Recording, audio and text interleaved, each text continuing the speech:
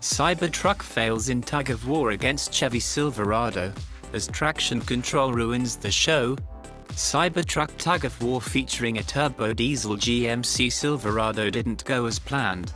The Silverado easily came out on top, pulling the Cybertruck like it was nothing. The same thing happened on the second attempt. The reason? It appears as though there is no way to disable the traction control system on the Cybertruck and it was freaking out on each attempt, aggressively cutting the power. Another attempt was made after overriding this system by unplugging one of the ABS cables on the Tesla.